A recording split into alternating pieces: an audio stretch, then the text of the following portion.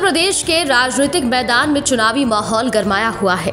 चुनावी मैदान में उतरकर प्रचार अभियान को तेज किया जा रहा है।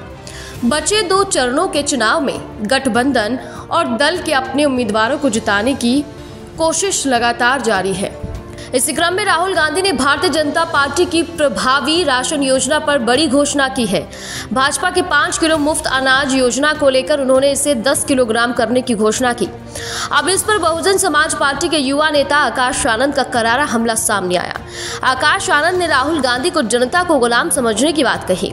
दरअसल मायावती ने आकाश आनंद को अपना उत्तराधिकारी घोषित किया था। पार्टी में उन्हें नेशनल कोऑर्डिनेटर पद दिया गया था।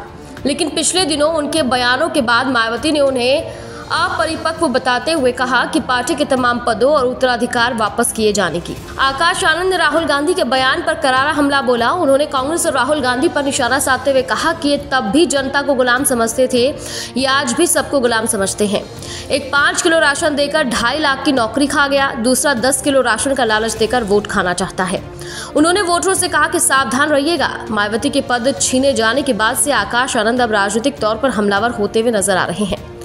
राहुल गांधी ने कहा कि भोजन का अधिकार कांग्रेस पार्टी और यूपीए की सरकार लेकर आई।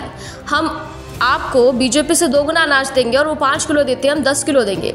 राहुल गांधी के इस बयान पर आकाश आनंद ने हमलावर रुख अपनाया है। इससे पहले बीजेपी पर भी वो अनाज योजना के ज़रिए गरीबों को गुलाम बनाने की बात कर चुके हैं।